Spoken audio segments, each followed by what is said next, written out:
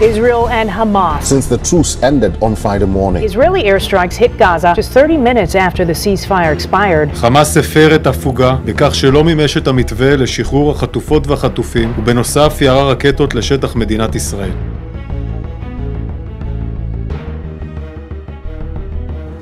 ሞት ነጋዴዎቹ ኔታንያሁና የሐማስ አመራሮች ሚስጥር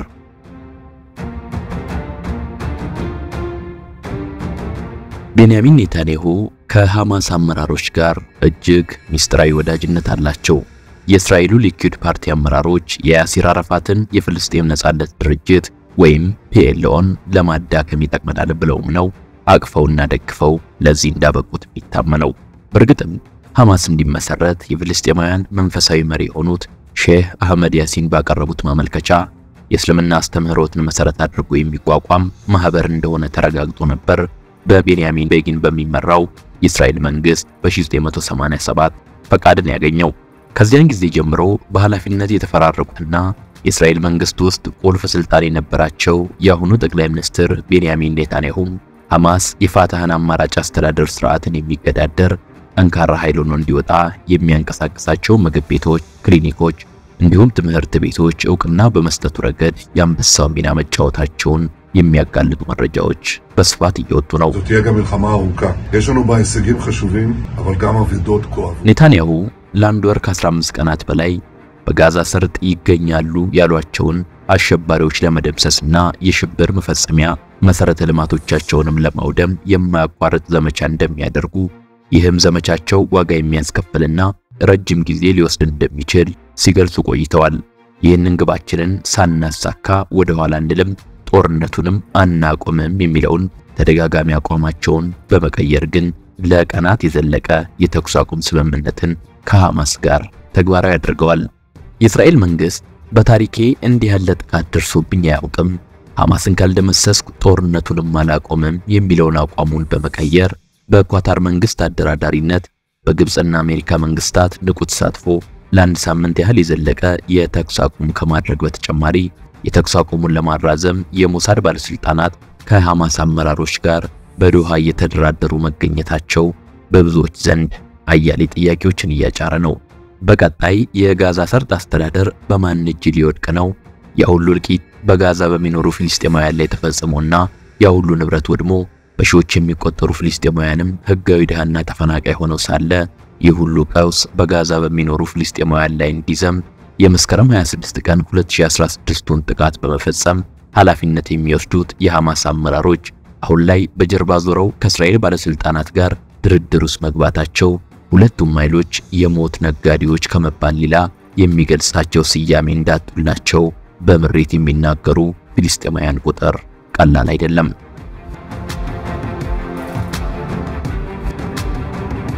ጤና ይስጥልን የተወደዳችሁ የሳሎን ቲዩብ ቤተሰቦችና ተከታታዮች፣ በዛሬው መሰናዷችን በጆርጅ ታውን ዩኒቨርሲቲ Law Center ፕሮፌሰር የሆኑት ታዋቂው የዓለም አቀፍ የህግ ባለሙያ ጆናታን ስትረም The Symbolic Relation Between Netanyahu and Hamas በሚል ርዕስ ከአንድ ወር በፊት ከፍ ብለን ያነሳነውን የሐማስና የኔታንያሁን በሞት ንግድ ላይ ያጠነጠነ ሚስጥር ፍንትው ያደረጉበትን መጣጥፍ ከሐማስ መስራቾች አንዱ የሆኑት የሼህ ሐሰን የሱፍ የበኩር ልጅ ሞሳብ ሐሰን የሱፍ የሰጡትን ምስክርነትና ሌሎች ማመሳከሪያዎችን ጨምረን አሁናዊውን የሐማስና የእስራኤልን ጉዳይ የምንቀኝ ይሆናል። እስከ ፍጻሜ አብራችሁን ቆዩ።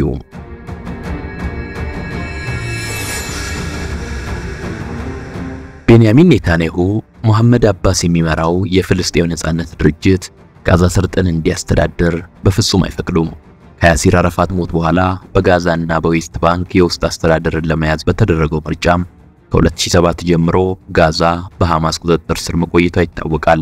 በእነኛ ዓመታት ጋዛ ቀውስ፣ ወታደራዊ ጥቃቶችና የሽብር ድርጊቶች ተለይተዋት አያውቁም።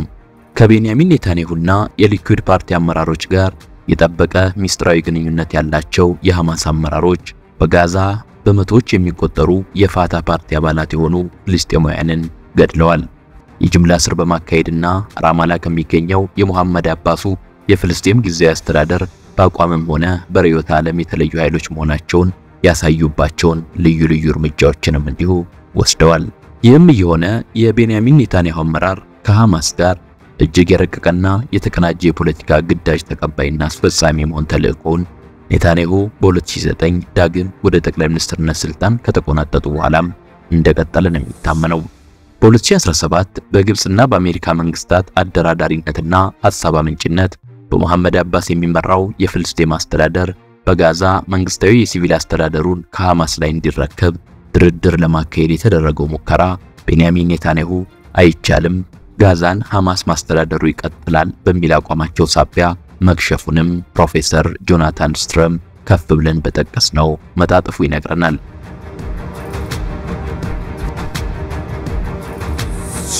ለ14 ዓመታት በዘለቀው የቤንያሚን ኔታንያሁ የጠቅላይ ሚኒስትርነት የስልጣን ዘመን ሶስት መለስተኛ ጦርነቶች በጋዛ ሰርጥ ተካሂደዋል። በእነኚህ የሰው ሕይወት ሀብትና ንብረት በበሉ ጦርነቶች ማግስት ከኳታርና ከሌሎች ድጋፍ ከሚለግሱ አባላት የሚለገሰውን በሚሊዮኖች የሚቆጠር ዶላር ሐማስ በገፍ እንዲቀበልና ለቀጣይ ዙር ግዳጅ እንዲዘጋጅ በማድረግ እስራኤል የበኩሏን ሚና ስትወጣም ነው የቆየችው። ሐማስ በአሁኑ ወቅት ዓመታዊ ገቢው 11 ቢሊዮን ዶላር የደረሰ ሲሆን ቡድኑ ከአይኤስአይኤስ ቀጥሎ በዓለማችን ሁለተኛው ከፍተኛ ገቢ የሚያስገባ የአማጺ ድርጅት እንደሆነም መረጃዎች ያመለክታሉ። የሐማስ ወታደራዊ ክንፍ 40 ሺህ ተዋጊዎች እንዳሉትና በጋዛ ሰርጥ ያሉ የጤና ተቋማትን እንዲሁም የማህበራዊ አገልግሎት ሰጪ ድርጅቶችንና ሚዲያዎችን ጨምሮ በርካታ የንግድ ተቋማትን በባለቤትነት ያስተዳድራል። ጋዛን ሐማስ ማስተዳደር ከጀመረ አንስቶ ላለፉት 14 ዓመታት የግዛቲቱን ነዋሪ ሕዝብ መሰረታዊ ፍላጎት ከማሟላት ይልቅ በመሬት ውስጥ የተለያዩ የመተላለፊያ ዋሻዎችን መገንባት፣ ተዋጊዎቹን የማስታጠቅና ለግዳጅ ዝግጁ የማድረግ ስልጠናዎችን በማከናወን ተግባር ነው ተጠምዶ የቆየው። በእነኚህ 14 ዓመታት በጋዛ የሚኖረው 2.3 ሚሊዮን የሚደርስ ፍልስጤማዊ በከፍተኛ ስቃይና መከራ ውስጥ እንዲኖር ያደረገውና የራሱ በርካታ የማሰቃያ እስር ቤቶች ያሉት ሐማስ ወታደራዊ አዛዦቹና የበታች ሹማምንቱ ግን ከጋዛ ሰርጥ ነዋሪዎች በተለየ በቱርክ፣ በግብፅ፣ በሱዳንና በኳታር በተለያዩ የልማት ዘርፎች መዋዕለ ንዋዮቻቸውን ያፈሰሱ ቢሊዮነሮች መሆናቸው ነው ይፋ የሆኑ ባሉ መረጃዎች በመረጋገጥ ላይ የሚገኘው።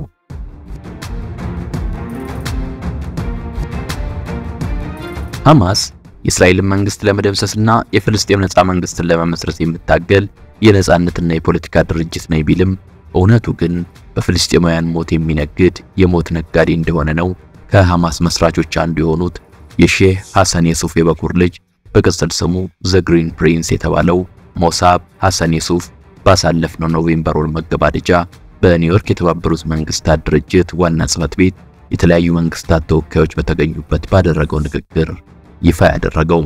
የሐማስ መሪዎች አሁን ያለውን ትውልድ ለእልቂት መዳረጋቸው ሳያንስ ቀጣዩ ሀገር ተረካቢ ትውልድ እንዳይኖር ደግሞ በእልህና በደም ፍላት በሚሰነዘር የበቀል እርምጃ እንዲያልቅ እያደረጉት ነው።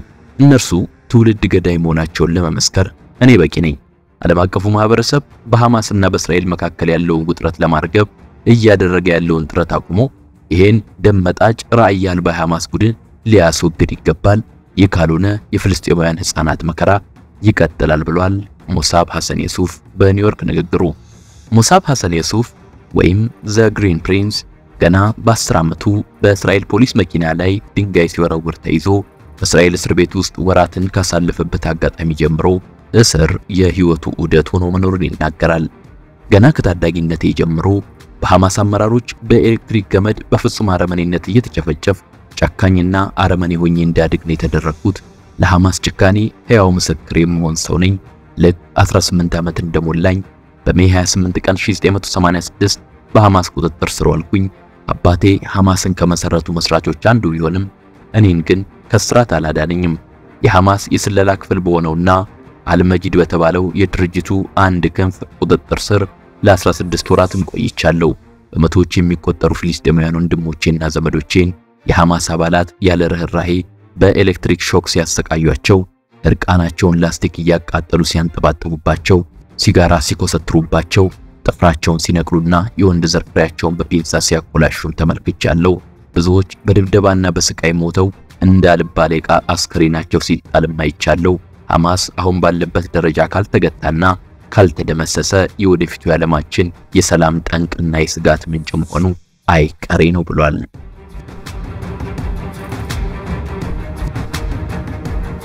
የተባበሩት መንግስታት፣ የአረብ ኤሚሬቶች፣ ግብፅ፣ ቻይናና አንዳንድ የዓለም ሀገራት መንግስታት ሐማስን መርዳት ፍልስጤማውያንን መርዳት ነው ብለው በማመን በሚሊዮን የሚገመት ዶላርና የተለያዩ እርዳታዎችን ለሐማስ መለገሳቸውን ስራቸው አድርገውት ቆይተዋል። ይህንን የብዙዎቹን መንግስታት አቋም ለማስቀየር እስራኤልን በሚመራው የቤንያሚን ኔታንያሁ መንግስት በኩል የሚደረገው እንቅስቃሴ ግን እጅግ ውስን ነው። ቤንያሚን ኔታንያሁ ሐማስ ያሳደግኩት ውሻዬ ነውና አይበላኝም ብሎ እንቅስቃሴውን ከመቆጣጠር በመቆጠቡም ቡድኑ ዛሬ ለደረሰበት በሺዎች የሚቆጠሩ እስራኤላውያን ሕይወት በአንድ ጀንበር መቀጠፍና በዓለም አቀፍ ደረጃ ባሉ አይሁዳውያን የስጋትና የፍርሃት ምንጭ ለመሆን በቅቷል። አሁንም አሜሪካ፣ ግብፅና ኳታር እንደሚተውኑት በእስራኤልና በሐማስ መካከል እልባት የሌለውን የተኩስ አቁም በማራዘም አካባቢው ጦርነትም ሰላምም የሌለበት ሆኖ እንዲቀጥል ከተደረገ ሐማስ ከፍተኛ ጉዳት ሊያደርስ የመቻሉና በንጹሐን ፍልስጤማውያን ላይ መከራን ይዞ የመምጣት እድሉ አይቀሬ ነው የሚሉ እየበዙ የመጡትም ለዚህ ነው።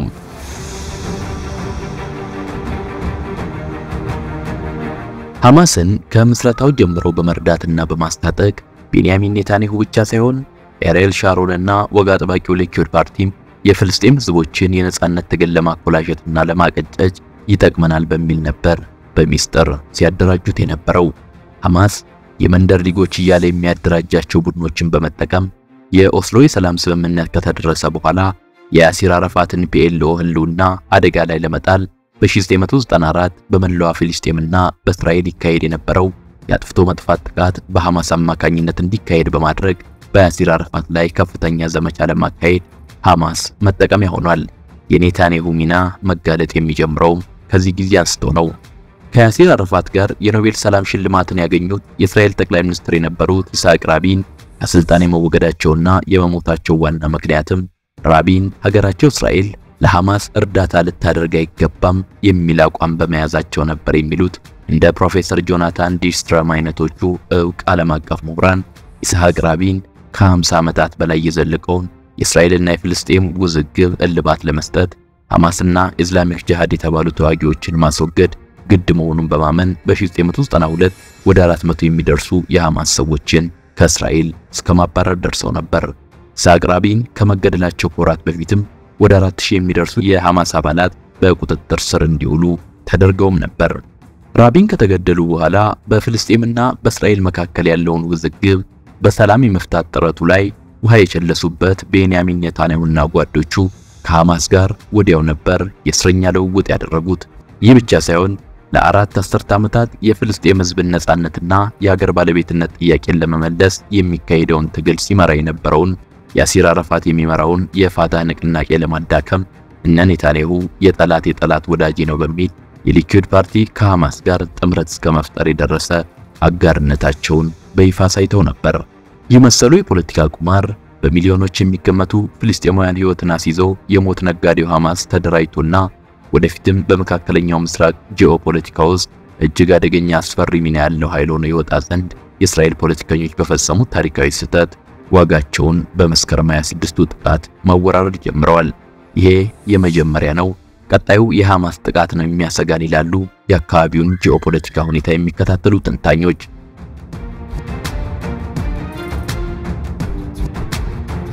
ለ48 ቀናት ያለማቋረጥ በአየርና በምድር እስራኤል በጋዛ ሰርጥ ስታካሂደው የነበረው መጠነ ሰፊ ድብደባ ታጋቾችን ለማስለቀቅና ሐማስም በወህኒ ቤት ያሉትን እስረኛ አባላቱን በታጋቾች ለመለወጥ በሚል በተደረሰ የተኩስ አቁም አሁን ላይ በጋዛ ጦርነት የሌለ ቢሆንም ከቀናት በኋላ የእስራኤል ጦር በጋዛ የሚያካሂደውን ግዳጅ የሚቀጥል መሆኑን የእስራኤል ጦር ኃይል ሚኒስትር ዮአፍ ጋላንት መናገራቸው ተደምጧል።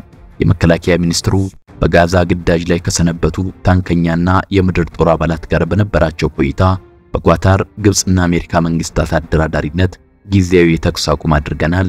ይህንን የተኩስ አቁም ስምምነት ጠላታችን ራሱን እንደገና ለማደራጀት እየተጠቀመበት እንደሆነም ደርሰንበታል። ስለዚህም በቅርቡ ከቀድሞ በተጠናከረ መልኩ የእስራኤል ጦር ኃይል በአየር ኃይል በታንክና በመድፍ እየታገዘ በሙሉ ኃይሉ ወደ ጦርነት ይመለሳል ሲሉ አስታውቀዋል። የእስራኤል ከፍተኛ የጦር አዛዦችና ጠቅላይ ሚኒስትር ቤንያሚን ኔታንያሁ ደጋግሞ እንደሚናገሩት የሐማስ ድርጅታዊ መዋቅር ፈርሶ ካልተደመሰሰ በቀር ጦርነቱ አይቆምም። በጋዛ የእስራኤል ስጋት የሆኑት እንደ ሐማስና ኢስላሚክ ጂሃድ አይነቶቹ ድርጅቶች እስካልተደመሰሱ ድረስ የተጀመረው የብረት ሰይፍ ወታደራዊ ዘመቻም ይቀጥላል በማለት ላይ ናቸው። አሜሪካን ጨምሮ የተቀረው የዓለም ማህበረሰብ አሁን በእስራኤልና በሐማስ መካከል የተደረሰው ጊዜያዊ የተኩስ አቁም ስምምነት ወደ ጋዛ በከፍተኛ ደረጃ አስቸኳይ የምግብና የመድኃኒት እርዳታ እንዲገባና የማከፋፈል ስራውም በተቀላጠፈ መልኩ እንዲካሄድ የተራዘመ የተኩስ አቁም ስምምነት ማድረግ ግድ መሆኑን እየገለጹ ነው። የዓለም አቀፉ ማህበረሰብ እያቀረበ ወዳለው የተራዘመ የተኩስ አቁም ስምምነት እንዲደረስ ሐማስ ፍላጎት እንዳለው በአደራዳሪዎቹ በኩል እየገለጸ ነው። ሐማስ በሚያስተዳድረው በጋዛ ሰርጥ ለሚኖሩ 2.3 ሚሊዮን የሚደርሱ ፍልስጤማውያን መርጃ ከተለያዩ ዓለም አቀፍ ተቋማትና መንግስታት የሚለገሰው እርዳታና የገንዘብ ድጋፍን ለድርጅቱ ከፍተኛ አመራሮች መገልገያ እያደረገው እንደሚገኝም ነው እየወጡ ያሉ መረጃዎች የሚጠቁሙት። ሐማስ የእርዳታ ገንዘቡን ምድር ለምድር የሚዘልቅ የመተላለፊያ ታናል ለመገንባት በእነኚህ የምድር ውስጥ መተላለፊያ ታናሎች በኩል በሚያዘዋውራቸው ሸቀጦችና መገልገያ ቁሳቁሶችም ላይ በጣለው ቀረጥና የንግድ እንቅስቃሴም ከፍተኛ ገቢ እንደሚያገኝ መረጃዎችን ዋቢ ያደረጉ ዘገባዎች ይፋ አድርገዋል። ሐማስ ባለጸጋ ድርጅት ቢሆንም በፍልስጤም ሕዝብ ስም የሚያገኘውን የገንዘብ እርዳታ በስራ ላይ በመዋል በየዓመቱ በጋዛ ለ12 በመቶ ፍልስጤማውያን ሕፃናት ሞት ምክንያት የሆነውን የተበከለ ውሃ ችግር ከማስወገድ ይልቅ የሐማስ አመራሮች በበሽታና በችግር ከሚታመሰውና ከሚስተቃየው ግን ደግሞ እንወክለዋለን እንታገልለታለንም ከሚሉት የጋዛ ሕዝብ ብዙ መቶ ሺህ ኪሎ ሜትሮች ርቀው በኳታር መኖርን መምረጣቸው ብዙዎችን ያስገረመ ጉዳይ ነው።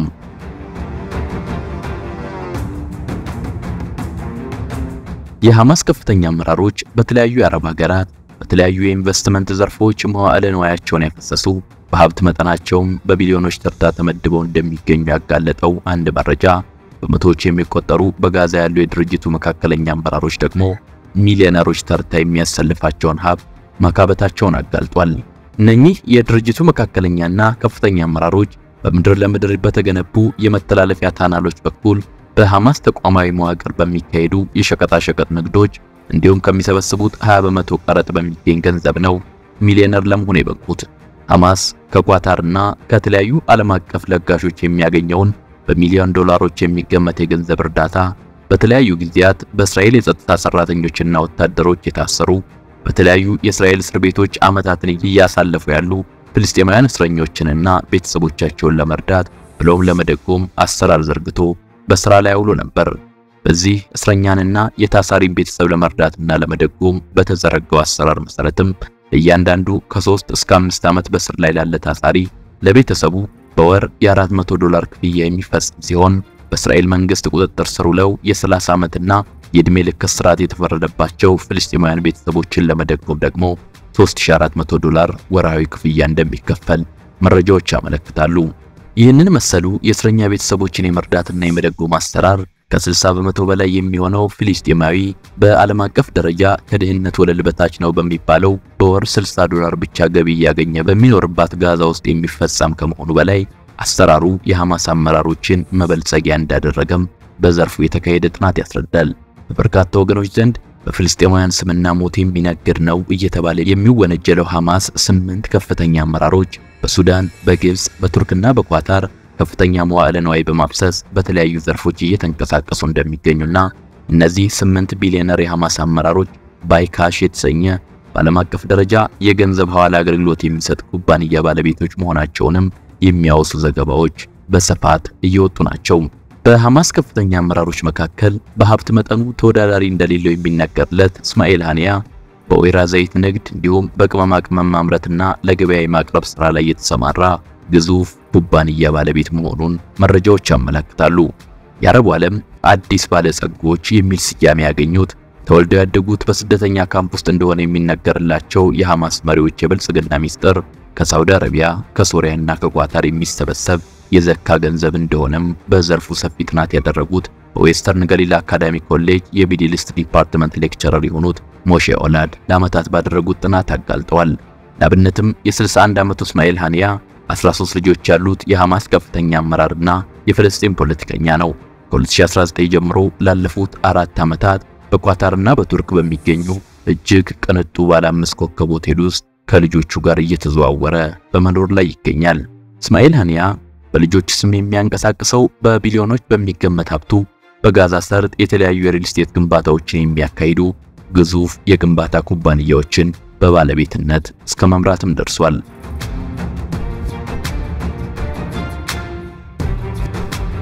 ሌላው የሐማስ ከፍተኛ አመራር የ67 ዓመቱ ካሊድ ማሻል ሲሆን የሐማስ የፖለቲካ ቢሮ ኃላፊ ነበር።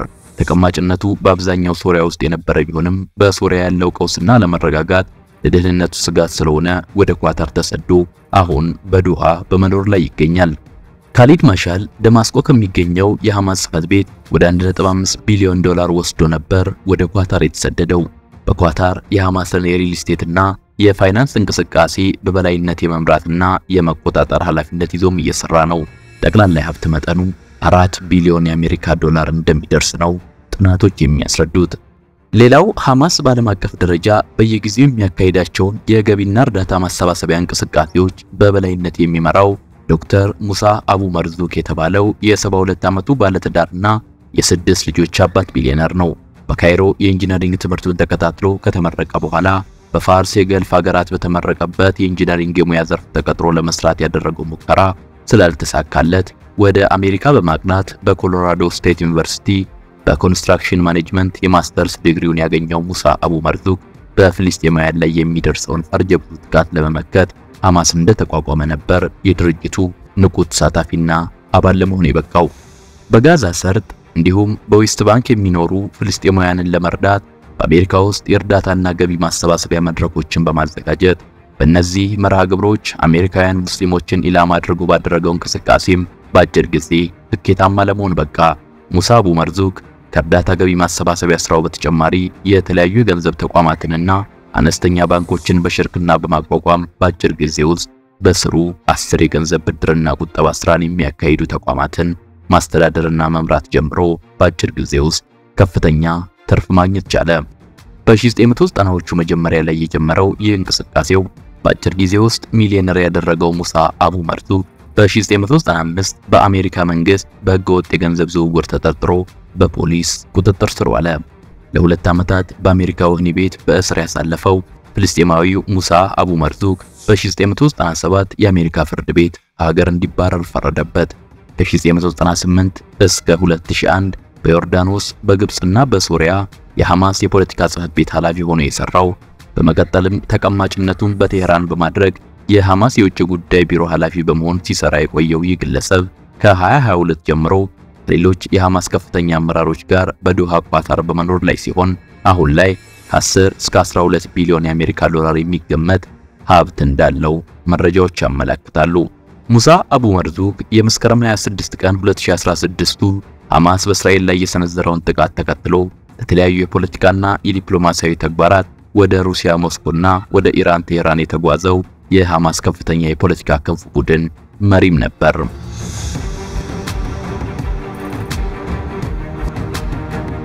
በሱዳን፣ በቱርክ፣ በሳውዲ አረቢያ፣ በአልጄሪያ እና በዩናይትድ አረብ ኤሚሬትስ የሚገኙ የሐማስ ንብረት የሆኑ 500 ሚሊዮን ዶላር ካፒታል ያላቸው ኩባንያዎችን ስራ በበላይነት ይመራል ተብሎ የሚታመነው ሐሺም የኑስ ያህያ የተባለው ሌላኛው የሐማስ አመራር ነው። በቅርቡ የቱርክ ዜግነት ያገኘው የ67 ዓመቱ ሐሺም የኑስ ያህያ ቀደም ሲል አስሜት አስላን በሚል ስም ነበር ይጠራ የነበረው። በኢስታንቡል በርካታ የመኖሪያ ቪላዎች፣ የንግድና የገበያ ማዕከላት ባለ ንብረት የሆነው ይህ የሐማስ አመራር ከሐማስ ከፍተኛ ቢሊዮነር አመራሮች ሌላኛው ነው። እነኚህ የሐማስ ከፍተኛ አመራሮች በቢሊዮነሮች ተርታ ከተመደቡት ጥቂቶቹ ሲሆኑ ሌሎች በሞትና በሽብር በሚታመሰው የጋዛ ሰርጥ በሚካሄድ ህገወጥ ንግድ እንዲሁም ሐማስ በሚሰበስበው 20 በመቶ የታክስ ገንዘብ ሚሊዮነር የሆኑ የሐማስ ከፍተኛና መካከለኛ አመራሮችም በቀውስና በእልቂት እየተሰቃየ ባለው ፊልስጤማዊ ህይወት ላይ ቁማር እየተጫወቱ የሚቀጥሉበትን መንገድ እየፈለጉ ነው። ሐማስ እየፈጸመ ያለውን ወንጀል ማንም ይቅር ሊለው አይገባም። በህፃናት ሞትና ደም መፍሰስ የፖለቲካ ቁማር በመጫወት ፖለቲካዊ ግብ እናገኛለን ብለው ነው ከጅምሩ የሐማስ አመራሮች ሲንቀሳቀሱ የነበሩት የሚለው ከሐማስ መስራቾች አንዱ የሆኑት የሼህ ሐሰን ዩሱፍ ልጅ እነኚህ የሞት ነጋዴዎች ካልተደመሰሱና በጋዛ ያላቸውን ይዞታ ካላጡ ሌሎች ሐማስን መሳይ ደም የሚያፈሱና አረመናዊ ተግባራትን የሚፈጽሙ ድርጅቶች በመላው ዓለም ይፈለፈላሉ። ስለዚህ የጋዛው ሐማስ እጣ ፈንታ መጪውን የዓለም ሰላምና ደህንነት ምን እንደሚመስል አመላካች ነው። ዓለም የሐማስ ሞት ነጋዴዎች ህልውና ሊያከትም የሚገባበትን እርምጃ ለመውሰድ ሊተባበር ይገባል ሲል ሞሳብ ሐሰን የሱፍ ለዓለም አቀፉ ማህበረሰብ ባስተላለፈው ጥብቅ ማሳሰቢያ ተናግሯል።